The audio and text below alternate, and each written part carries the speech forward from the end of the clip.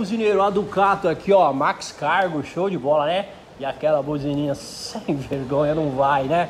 Aqui instalamos a Verdureiro, três corneta. Olha aí, galera, fica top, né? Olha o som que dá essa buzina. Toca aí, buzineiro! É a sensação das, dos carros de carga, carro popular, qualquer tipo de carro, né? Meu, muito legal. Toca aí!